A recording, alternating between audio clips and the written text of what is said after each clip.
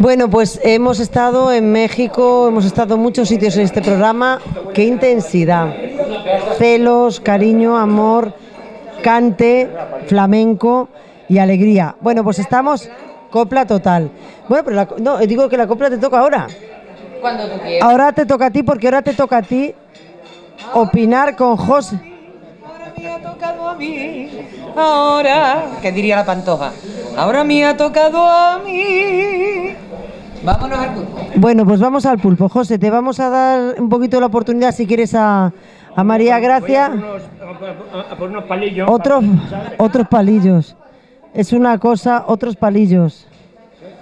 Más palillos. Te voy a contar algo interesante. No, te voy a dejar el, el- el micro y tú te encargas porque aquí ha habido feeling con un gallego porque tú me has contado que tienes un amor a Galicia. Sí. Por favor, te voy a dejar el micro y tú nos cuentes. Madre mía, que no hay manera, no hay manera, no hay manera, no hay manera. Que Pero tú qué eres, el hombre de los palillos. En vez de, en vez de Eduardo Manos Tijeras, eres Eduardo Palillos. Todo el día con los palillos. pero escúchame, todo el día. Espera, yo le voy a, yo voy a dejarle a María, porque la veo yo que tiene ganas, de, de homenaje a Galicia. ¿Me permites, me permites, jefe, que le deje un momento el. Está deseando hablar con un gallego. Porque este es gallego gallego. Vamos a ver, a mí es como si me hubiera retrotraído como 10 años antes, eh, 15 años antes, a la época en la que yo estoy eh, recién casada y tomo contacto con Galicia por primera vez. Encontrarme con José para mí ha sido encontrarme con, con mis raíces políticas, ¿no? Con, con la familia de, de adopción gallega, porque me casé con, con Rafael Rodríguez Refojos, imagínate el apellido, muy, muy gallego. Y eh, a partir de ese momento yo me enamoré absoluta y abnegadamente de Galicia y de sus productos. Eh, tuve la fortuna de trabajar encima con, con Juan Camoeiras desde Orense, con, con la agencia de espectáculos. Y cuando tú me has contado la anécdota, José, de que el 70-80% del pulpo que comemos, más o menos, en España es marroquí, no es gallego, ¿es cierto? Pues eso es lo que dicen eh, los medios de comunicación, toda la prensa, en la tele, que mm, el 80% es marroquí. Y este que tenemos aquí, pues forma parte del 20%. Bueno, pues yo he tenido la fortuna de estar comiendo toda mi vida el pulpo que me conmigo, aparte de que te puedas comer una racioncita de pulpo por ahí cuando vas de galas, pero el pulpo que yo me he comido ha sido un pulpo gallego porque tuve la suerte de ver a mi suegra África, cogerlo con un ganchito cuando bajaba la marea y, y golpearlo contra la piedra hasta para que se pusiera blando, decía ella. Entonces, entendida 100%. Y yo sí conozco el pulpo bueno, el nuestro, el de Galicia. Eh, antiguamente, o el que quiera todavía lo puede hacer, darle una paliza, pero ahora lo que se hace es congelarlo, que es la misma función, que es, por eso en Orense dicen que se vende el mejor pulpo del mundo, ¿no? porque en Orense no hay mar, sin embargo ellos venden el mejor pulpo del mundo porque lo congelaban y de ahí ha salido un pulpo más, más tierno, más blandito y con el mismo sabor. De hecho, en Orense tienen la fiesta del pulpo, ¿eh? en Rivadavia, ¿no es? Carballiño, ¿sí? Exactamente. Y tienen una feria maravillosa, que es la fiesta del Chantar, que he tenido yo la oportunidad de, de estar allí cantando, y tienen un pulpo excepcional. Así que explica tú eh, lo que traes hoy, que me ha dejado aquí sola con el micrófono doña Susana. Pues nada, es un pulpo eh, de camariñas que me mandan eh, todas las semanas y es un pulpo que se cuece durante 30 minutos y ya está. Luego se adereza con un poquito de sal gorda, pimentón picante, muy poquito, y aceite de oliva del bueno. Y ahí está, no hay más secretos. Eso es todo. Está mal que hable con la boca llena, así que sigue hasta que termine. Y, y- y, pues, Pulpo gallego. pulpo gallego, pues del, del 20% de lo que se vende en España. Y ahora que me lo he comido tengo que decir una cosa, particularidad. Tierno, tierno, tierno cuando entra en boca. Así que sí es cierto que es nuestro pulpo, es el gallego, es el congelado y es el que te queda tierno. Susana, te cedo los trastos. Los, los trastos, escucha, los trastos, que vamos a hacer un, un cambio, María, brutal. Y ahí sí le vamos a pedir a Pepe que opine, porque de esto sí sabes mucho. Callos. ¿Eh? No callos por nada malo, pero callos. O sea que José, de Terra Celta, que estamos en calle. Estamos en el paseo Marqués de Zafra número 8. Ya llevamos ahí 20 años haciendo pulpo, haciendo callos y además tengo un camarero que los vende diciéndole a los clientes si los has probado mejores en tu vida no te los cobro. O sea, Eso me lo han no te dicho. digo más. O sea que si vas, si vas a, al Paseo Marqués de Zafra, al... Si no te gustan, no te los cobran.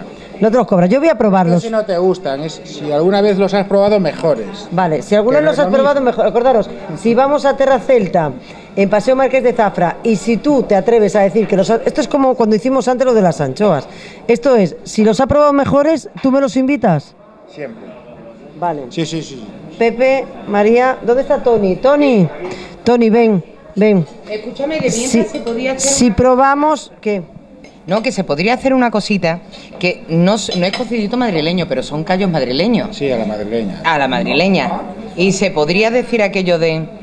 Ay, callito madrileño, repicando en la guardilla, que me sabía hierba buena y a verbena en la vistilla. Ay, y Pepe Blanco, hay los callos madrileños del ayer y del mañana. Pesadumbre y alegría de la madre y de la hermana. Cocidito madrileño, repicando la altura. ¡Ay, cocidito madrileño, cocidito madrileño! ¡Ale! Que me sabe a gloria pura. ¡Ole! ¡Ole! ¡Bravo! ¡Bravo! ¡Bravo! Bueno, Pues espera, vamos a probarlo, vamos a probarlo. Cuando yo tenía 11 añitos, me llevaron mis padres de veraneo a Carballino, Carballino.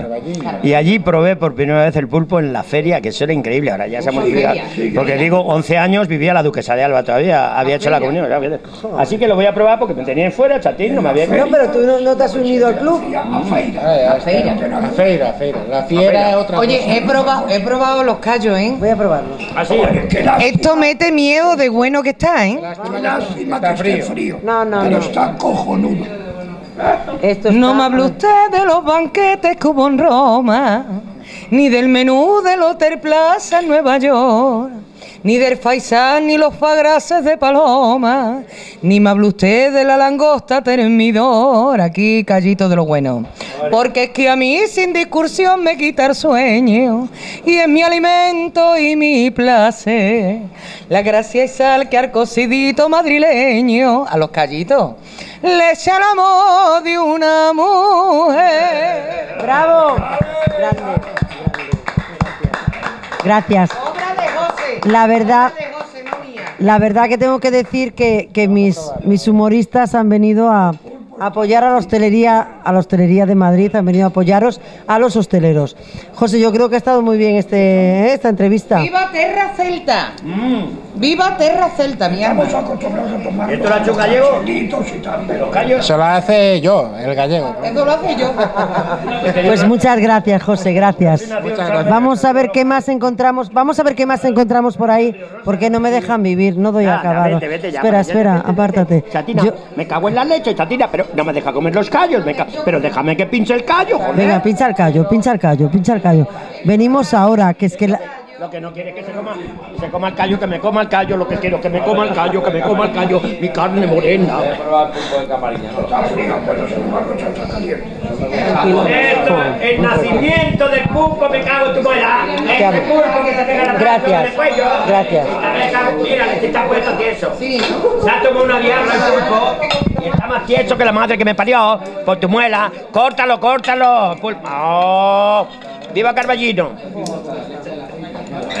Qué buena pinta tiene. Fíjate. Aquí lo cortamos aquí mismo, mira. ¡Ay! No, y explica por qué es en red. ¡Qué peligro tiene Plácido Domingo este! Bueno, el pulpo, Explica por qué es en red comer. el pulpo se debe co- cortar con tijera porque la fricción de la tijera hace que luego el pulpo sea un bocado exquisito. Otra cosa importante en el pulpo es que no se debe dejar que se enfríe. ¿Vale? El pulpo debe estar siempre, después de que se termina de cocer, debe de comerse inmediatamente después. Esa es una de las claves. Y no oblicuo. Está mucho más rico. ¿Perdona? Le pasa a una vecina mía que se corta las uñas y no voy a que se enfríe. A mí me han dicho que en oblicuo sé que no sale igual de tierno. Que no, que sale igual de bueno. Mira, Mira qué rabo le sale, mira. Entonces tú esto Es que me encanta lo preparas así, lo ves, mira, ahora le vamos a dar primero sal gorda, vale. Siempre sal marina, ¿vale? No, no sal de escama ni sal, sal marina, sal, sal natural. Luego el pimentón, luego el aceite. Luego se añade el pimentón y haces un pulpo espectacular. Mira, Dios mío, menos mal que no he comido. luego aquí hacemos un buen aceite virgen.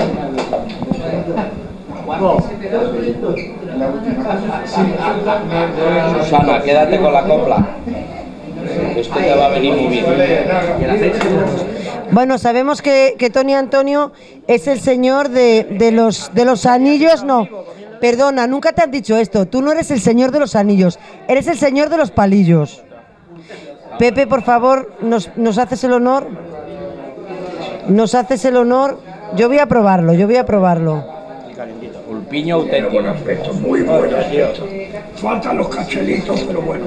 Bueno, ya los cachelitos tiene que ser otro día, bueno, hemos traído cachelitos. ¿Qué? Eh, ya no le doy el mismo, eh. Esto me de tirarlo me voy a dar un par de patitas yo. Porque es que te van a echar 500.000 euros si tiras comida. Entonces, para que no te echen 500.000 euros, me llevo un par de Me voy a dar patitas. un beso y todo. Y yo no lo. Oye, muchas María. Muy bien, muy bien. sin palabra, mi arma. Sin palabra. Eh, esto está para hacerle una, una ola, una larga cambiada. Está- te, está- te estamos grabando. La cosa, una jornada. Qué bonito. joder, Qué bonito, verdad. eres un artista. Hazle tú la entrevista, que me Plácido la risa. Entrevístale tú, es que de Entrevístame verdad, tú, me venga, va. mucho trabajo. Lo primero, Plácido, ¿de qué parte de Galicia? Yo soy de Pontevedra, das Neves, al lado de Pointareas. Bueno, pues yo primer, el primer contrato de mi vida lo tuve en la playa Samil. Hombre, en un cabaret que se llamaba Río Mar, fíjate, luego ya fui a Nueva Olimpia y tal. Y allí comí yo Olimpia, sí, mi sí. primer pulpo en la piedra, junto con el dueño de Nueva Olimpia, que era Sí. uno de los... eh, ¿Conoces? Conocía Nueva Olimpia. Alejandro Figueroa. Sí. Pues ahora es el rey de las discotecas de Brasil. Le vi el otro día y hablé del primer mía. pulpo que me invitó él a mí en la piedra, junto con una docena dos de ostras. Qué buena tierra es esa. Bueno, así que felicidades, tengo que darte la enhorabuena. Nada. Porque calentito, recién salido, solo tiene un problema. Dime. No sé si me va a entrar todo en el tupper.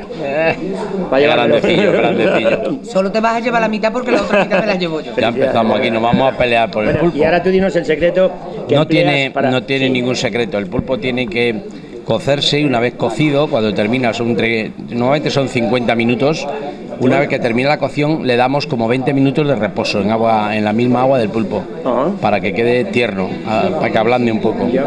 Y luego lo que nunca debe de perder es el, el calor. Una vez que ya se enfría del todo, queda más ma- ma- mazacote como el que te comiste antes. Lo que he visto es que lo riegan mucho de aceite. Yo pensaba que tenía menos aceite. No, O no, sea, tiene que tener es aceite de oliva, sí. Es que el oliva virgen con el pimentón de la vera tiene que ser un pimentón bueno. Ya tiene que llevar picante y dulce, mm, digamos que dos partes de dulce y una de picante. Y eso hace que te lo puedas comer y no te. Porque hay gente que no le gusta el picante. En Galicia lo comemos con picante solo. Sí, a la gente, hay mucha gente que le gusta. pero- aquí en. Madrid Pues tiene que, exquisito. tiene que tener ese punto de cocción y esa es la, la forma Bueno, pues yo ideal. fíjate que me lo he comido con, con dulce. Luego lo otro ya me das un poquito de picante para que me lo lleve un tupper para ella picante y otro para mí. ¿vale? Perfecto, no hay ningún problema. Felicidades. Muchísimas gracias. Desde hace Un bastantes placer. años que yo en Madrid no lo había comido. Lo he comido en Galicia, pero aquí no lo había comido. Tienes y es que nos dice Susana que aparte de este plato, ¿cuál es tu especialidad en, en la cocina? Porque no solamente me digas que haces el pulpo. Bueno, nosotros somos un restaurante típico gallego que está en la Sierra de Madrid, que está en Galapagar, se llama Viva Galicia, y ahí tenemos, eh, cocemos el pulpo en una olla de cobre de unos 100 litros de, de capacidad, donde cortamos pulpo, hacemos grandes cantidades de pulpo porque tenemos mucha clientela. Y no solamente el pulpo, nosotros somos marisquería, tenemos todo tipo de mariscos gallegos, Pues mi hermano tiene un chale de moral zarzal, así Trabajamos- que yo estoy en los Ángeles San Rafael, espéranos un día. Trabaja- trabajamos mucho la carne de rubia gallega premium y luego tenemos pescados de primera línea, todo lo que son productos ¿Y te de, viene todo de Galicia? del mar y de tierra. Dime. Que, que te viene todo de Galicia, o sea... No todo, marisco, no todo, casi todo. Normalmente la mayoría de los productos son gallegos, la mayoría. Somos una- un restaurante que se llama Viva Galicia, entonces nuestro, siempre nuestra razón de ser es poner productos gallegos.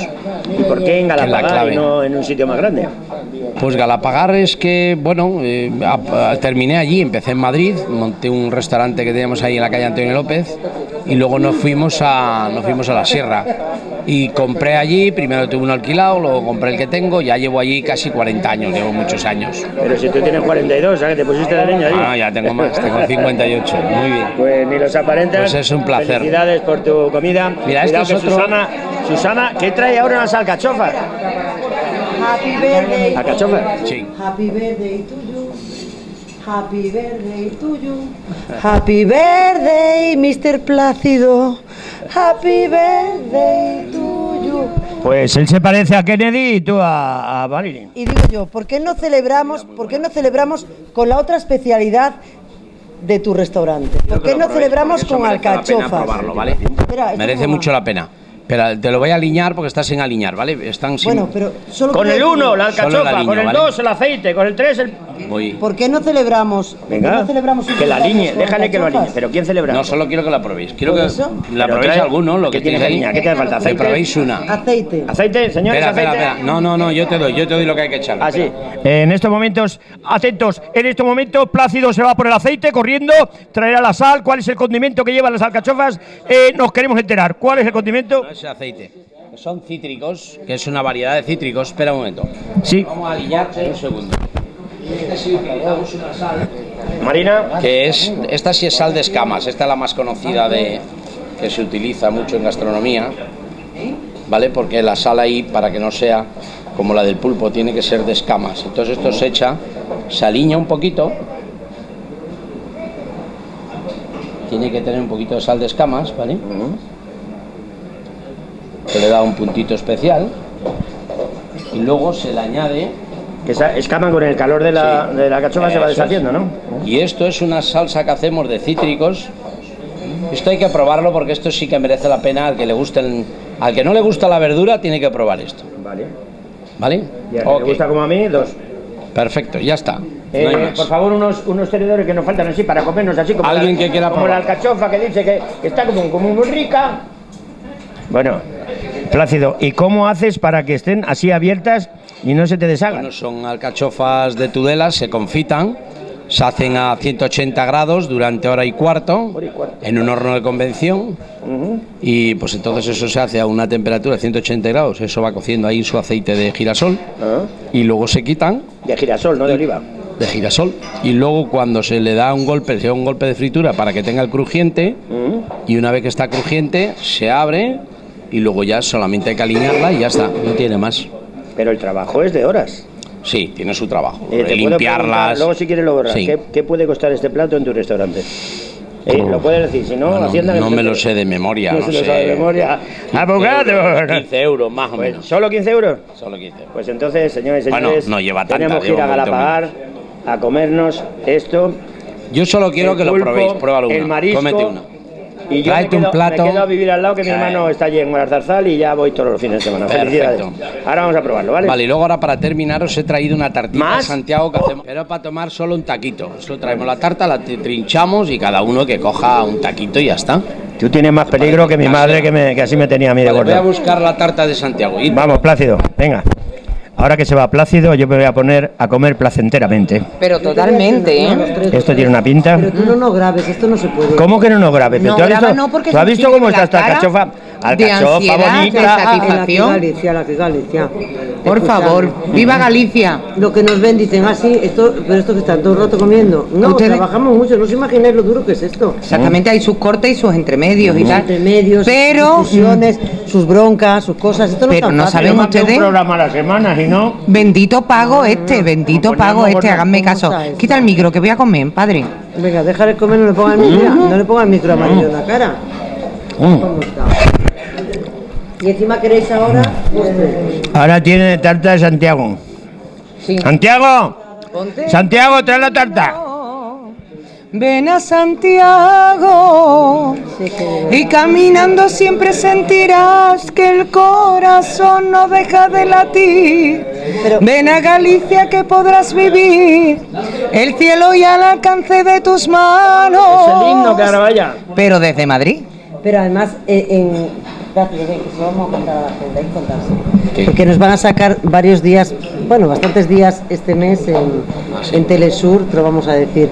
Y además, María Gracia y yo vamos a estar en, en tu casa el día, Día 24. Próximo día 24. 24. Bueno, os voy a decir una cosa. Con la nuestra querida amiga Pepa Chacón. Y con Lucía, con su mujer, que es maravillosa, que le que no mandamos... puedo, puedo estar yo, me lo traéis en un tape, que yo tengo el 26 la Pero entrega di de por los Sancho. exactamente, di por El día no 26, y estás invitado, le entregamos los premios Sancho Panza, ¿vale? Al humor. Los Sancho. Bueno, y después de estas alcachofas impresionantes, que como dije yo, puede, pueden ser hasta para un regalo de cumpleaños, y ese pulpo que, vamos, nos quita el sentido, os recomendamos totalmente y os esperamos.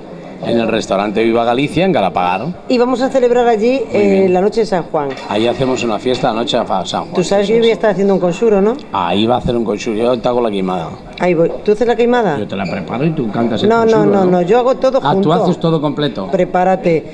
En el restaurante en Galapagar, En Viva Galicia. el mejor restaurante gallego de la Sierra de Madrid. Y terminamos con esta tarta de Santiago casera, que también elaboran allí. Para no perderse en Madrid, os esperamos en nuestro restaurante recomendado de la Sierra Norte de Madrid. Gracias. Una cosa más y nos vamos. Bueno, pues continuamos, continuamos eh, aquí. Nos vamos a otro hostelero de pro. Además, un hostelero que cuatro locales. O sea, estamos aquí al lado en Manuel Becerra, en la Plaza de la Remonta, en Calle Mayor y en Fuencarral. Estamos hablando de Vladimir. Estamos hablando de un hostelero sin miedo. Porque has empezado, ¿cuánto hace que empezaste con...? Hace siete años que soy autónomo. Siete años, tú sabes que además yo te entrevisté al principio, ¿te acuerdas? Sí, me acuerdo. Eh, y te entrevisté también para, para esta cadena y la verdad que, que tu, tu trayectoria es brutal. Vamos Intentamos. creciendo. Intentamos llevar un nivel, pues, normal, ni alto ni bajo, bueno, mantenernos a la... Pero cuatro locales, Vladimir. Después de todo lo que hemos mu- pasado... Mucho trabajo, es, mucho, mucho sufrimiento ha sido es mucho sufrimiento, ¿verdad? Sí, ha costado mucho. Yo, al menos, he llorado muchísimo cuando estaba encerrado. muchísimo, lo y sé. bueno, hemos sobrevivido y bueno, seguimos ahí, pues, por lo menos parados. No, pero tienes cuatro locales Sí, pero y bueno, cuatro locales de éxito, que además Sí. están funcionando de maravilla. En principio, sí, en principio vamos, vamos a ver qué pasa. Yo creo que, que todo el mundo, voy a parar un poco ahora porque ha sido como una vorágine de, de- de humor, de gastronomía, y quiero parar un poco ahora que todavía quedan, quedan hosteleros aquí que están conmigo, y de verdad cómo lo hemos pasado y cómo está ayudando también la gente ¿no? a que el hostelero tire para adelante. Bueno, yo tengo que dar gracias a la señora Ayuso, que gracias a ella muchos hosteleros en Madrid hemos aguantado el, el tirón, porque si hubiese sido la red de comunidades de Madrid, pues están todas arruinadas, pero Madrid ha sido el que ha abierto las puertas para todos. Yo, desde mi punto de vista, desde que Ayuso no cerró los bares, eh, no cierren a tal hora, para mí ha sido chapó. Y yo le conozco a la señora Ayuso personalmente y, y de verdad que si hay que hacer un monumento se lo, se lo hiciera. Yo personalmente. Pero aquí hay tema, ¿eh? O sea, que al final no salimos. O sea, pro Ayuso, qué cosa que es normal, todos los hosteleros. Plácido, no huyas, vente para aquí. Que veo que por aquí me quedan dos hosteleros. José, vente para aquí. No, no, no, estamos hablando de, estamos, mojate, ¿eh? Está diciendo el monumento Ayuso. Dos monumentos había que hacerla o tres. ¿Sí? Sí, Madre sí. mía, cómo se pone el programa. José, José de Terra Celta, ¿estás por ahí? Yo lo Vente siento, para aquí. yo Lo siento por otros, pero. Este es momentazo de programa. Es lo que hay, es verdad. ¿Sí? Esta Monumento Ayuso. Monumentos. Gracias a ella han podido comer mis hijos y, y- y hemos estado ahí parados. Claro, no tienen que olvidarse que los hosteleros también comemos y nuestros hijos. Y tenemos familia. Momentazo Ayuso. Sí, hombre, no, mis hijos comen todos y comen todos los días, sí. Pero Todos gracias días. a Ayuso también ayuda. Bueno, gracias a su padre, que soy yo. Bueno, Ayuso, este pone, este que este, este es muy gallego, muy gallego. Ayuso eh, Hecho una no hace lo que hizo la señora Carmena, que me sacó la terraza de 10 mesas y me dejó tirado. Ayuso por, Ayuso por lo menos me la ha dejado Me la ha dejado poner. Bueno, pues está bonito, bravo. Bueno, pues, pues para que después sepáis que nuestro programa sale todo, sale todo sin preparar, no sabíamos nada de esto, pero bien, no está bien. Pues mira, pues, pues Ayuso, nos gustas a todos, hay que decirlo. Sigue apoyando la hostelería y todos vosotros que siempre estáis con los hosteleros, siempre estáis consumiendo, saliendo y gastando, os damos las gracias y un súper aplauso, ya casi de remate del programa, creo que lo merecemos y todos los que están ayudándonos a salir de todo esto. Otro aplauso que nos gustan los aplausos. ¿No? Ha salido de todo. Bueno, compañeros, hemos probado los mejores callos y un pulpo espectacular. El pulpo, las alcachofas y la tarta de Santiago, este- que tenemos de todo. El tacazo, que era brutal. Vamos a ver qué nos ofrece Vladimir. Y vamos a dejarle a Tony también, porque Tony, hoy estás como de crítico gastronómico y lo estás haciendo súper bien. ¿Me permites que, que- que- que tú nos dirijas un poco esta entrevista que yo creo que, que como por tu cercanía, por tu cercanía puedes hacerlo mejor que yo? La directora dice que yo hable y lo siento, pero acaban de llamarme de la Moncloa. Está clausurado el canal. Se acabaron las entrevistas y van a dar por saco. Apoyar a la, a la presidenta, estando Pedro Sánchez aquí. Si no vamos a quedar sin gas, me cago en la leche, chatina. Eh, eh.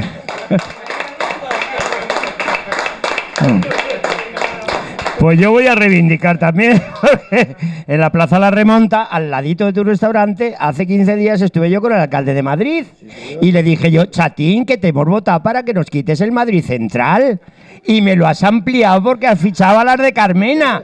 Pues me acaban de echar una multa de 200 euros por pasar por la calle de San Bernardo para aparcar en la plaza de los mostenses, cuando en el ayuntamiento de Tetuán me habían dicho que puedo circular hasta el 31 de diciembre del 24.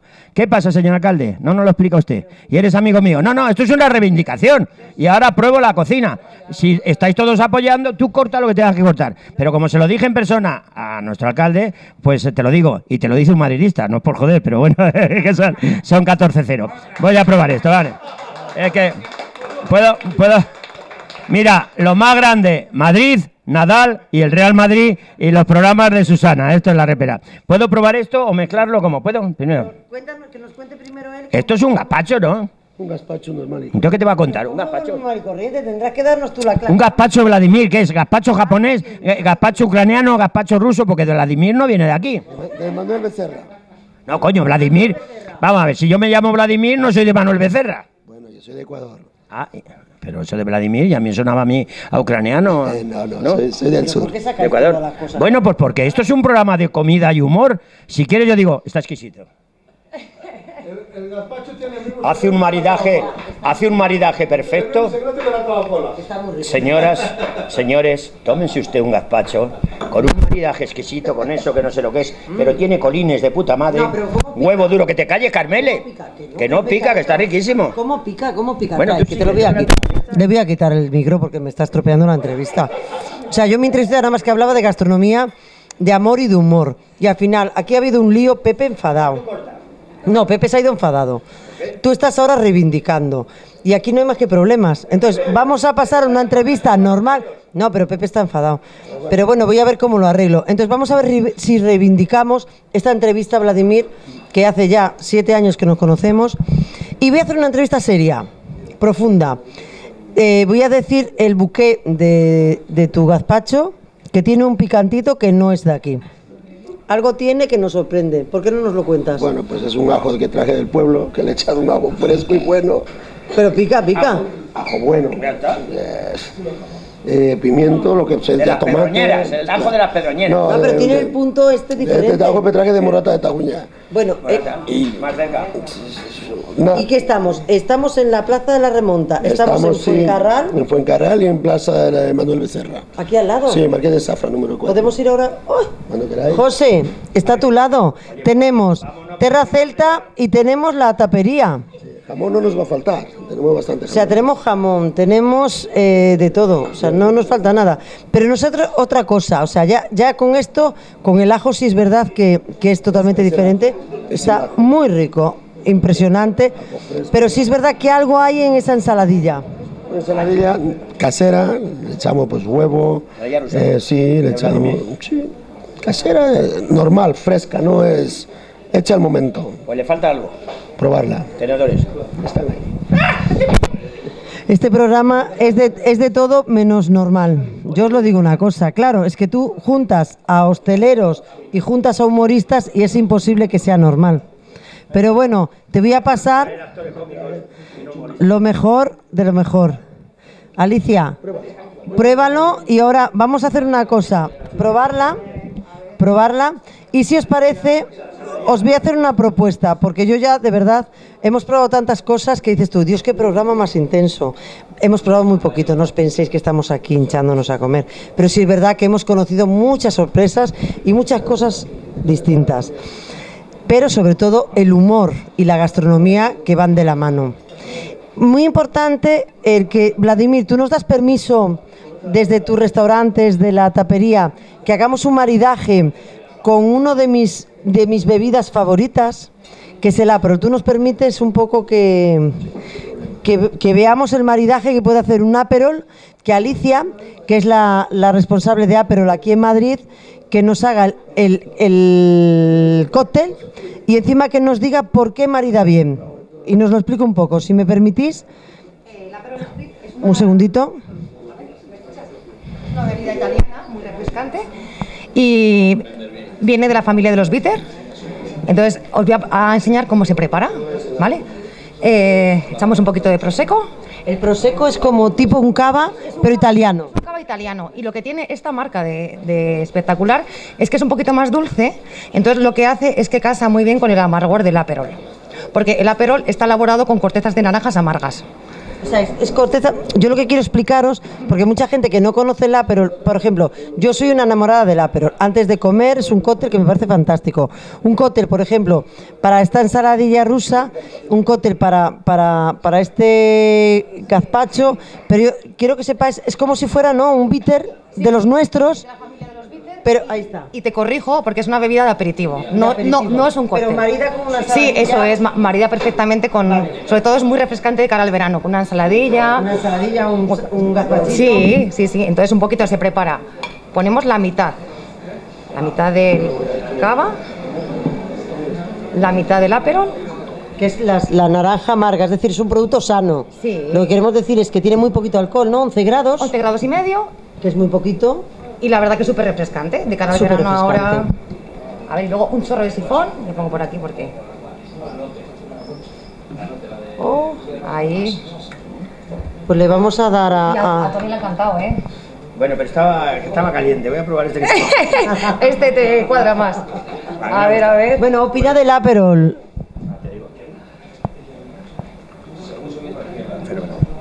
Además, maridaje, padraje, hermanaje, riquísimo, una ensaladilla exquisita. Sí. Así que iré a la Plaza La Remonta, le pondré los cuernos un día a Faustino, en vez de- irme al 2, estaré comiendo esa ensaladilla.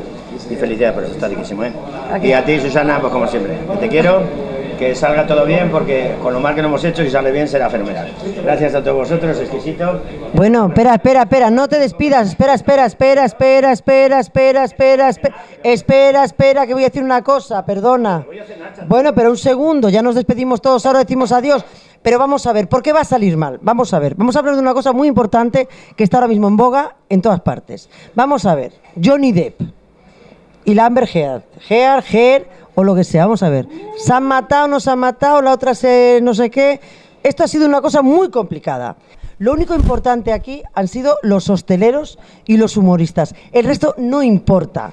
Y, y no somos la película de Aquaman 2. Es decir, esto ha sido real, no hay ningún personaje ni eliminado ni que no importe, sino que y todos los que os gusta la risa y la gastronomía estáis invitados y nunca vais a desaparecer de esta película os lo aseguro. Gracias. Qué bonita,